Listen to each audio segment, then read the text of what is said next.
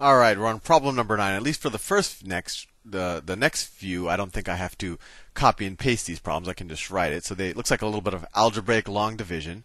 Problem nine. They want us to divide 2x plus 7 into it's pretty long, so I'll give some space. 2x to the fourth plus 21x to the third plus 35x squared minus 37x plus 46. This might look daunting, but once you start, it's not so bad. So, like any long division, you kind of look at the biggest place, and the, place, the, the largest degreed place, at least in this polynomial, is the 2x place. And that's what we work with. So we say, how many times does 2x go into 2x to the fourth? Let's see, the 2 goes into 2 one time, and x goes into x to the fourth, x to the third times, right? What's x to the fourth divided by x? It's x to the third. So we say it goes into it x to the third times. And if we were right, when we multiply, we should get 2x to the fourth. So x to the third times 2x is 2x to the fourth. And then x third times 7 is plus 7x to the third. Right? If this was like a, you know, some other, if this was, well, we'll, we'll worry about it when we get to it. But you would ha- you would want to put it under the appropriate place in this number. But it just happened to be that x to the third was the next one. Now you subtract, just like you do with regular long division. These cancel out. 21 minus 7 is 14 x to the third. And then you could bring down all of this, but we can worry about that in a second. So how many times does 2x go into 14x to the third? Well, 2 goes into 14 seven times, plus 7 and x goes into x to the third x squared times. And if we're right when we multiply, it should work out. So 7x squared times 2x is equal to 14x to the third, like we thought it should. 7x squared times 7 is what? That's plus 49 49x squared. And now we subtract 14x to the third minus 14x to the third, that's 0. Now we have 35. We could bring this down just if it makes it easier. 35x squared. 35x squared minus 49x squared. Let's see. So it's minus 14, right? 49 minus 35 is right. So it's minus 14x squared. And then 2x goes into minus 14x squared. So 2 goes into minus 14 minus 7 times. And then x goes into x squared x times.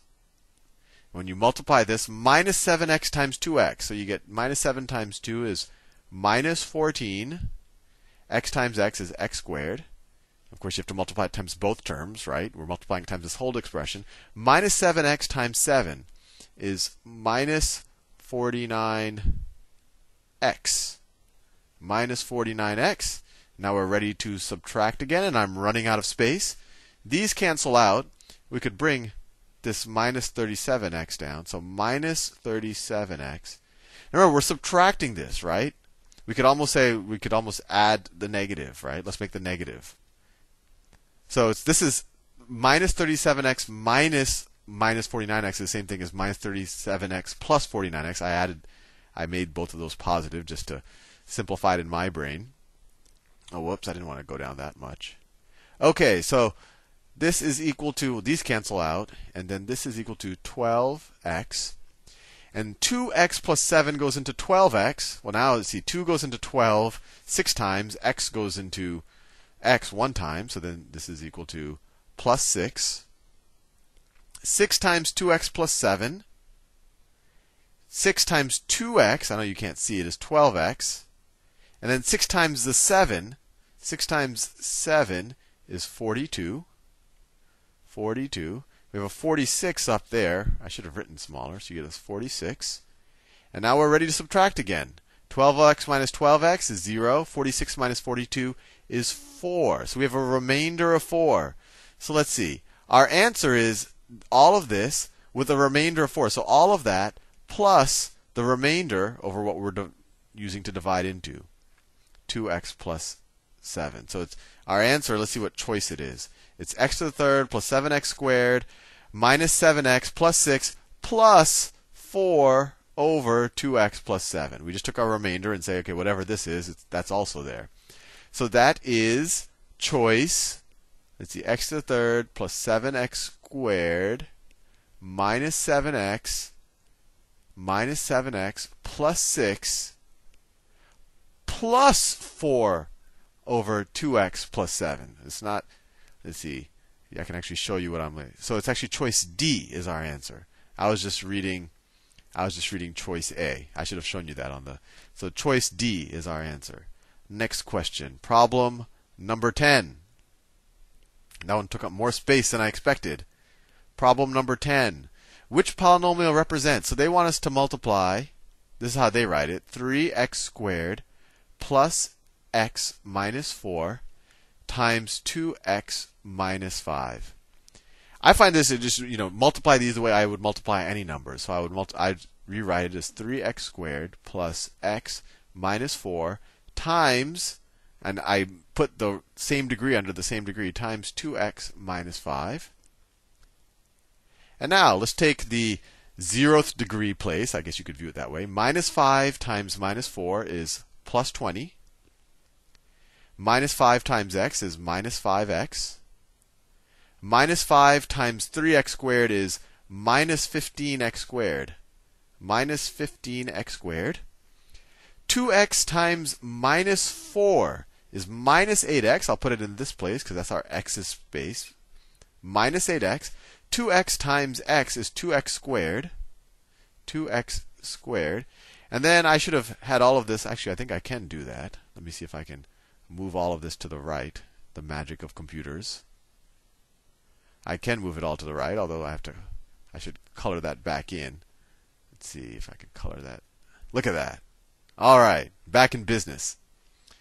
All right, so I did 2x times minus 4 is minus 8x. 2x times x is 2x squared. 2x times 3x squared is 6x to the third. 6x to the third. This is a plus. Now we just add up everything. Add up everything. So we get 6x to the third minus 15 plus 2 minus 13x squared minus 13x plus 20. So 6x to the third minus 13x squared. I'm just checking all the choices minus 13x plus 20. That's choice B. Problem 11. Problem 11. Let's see. They wrote they wrote minus 2 this is problem 11 just so you know what we're doing minus 2x squared plus 6x plus 1 minus 2 times 4x squared minus 3x plus 1 is equal to. Well, now we just have to simplify this. Let me rewrite this part. This is minus 2x squared plus 6x plus 1. And now we have to distribute this. The, I've, you know, let's distribute a minus 2. So minus 2 times 4x squared is minus 8x squared. That's that. Minus 2 times minus 3x, that's plus 6x minus 2 times 1 is minus 2. And now let's see, we can add the like terms up. Let's see what this is equal to. Let's do the x squared term. So first I'll do the minus 2x squared and minus 8x squared. So that is minus 2 minus 8, that's minus 10x squared. Let me do another color for each of them. Then I have the x terms. I have x, 6x, and then I have another 6x. You add them together, you get 12x plus 12x. And then you have your ones terms, your x to the zeroth power, you could view it. You have plus 1 and minus 2.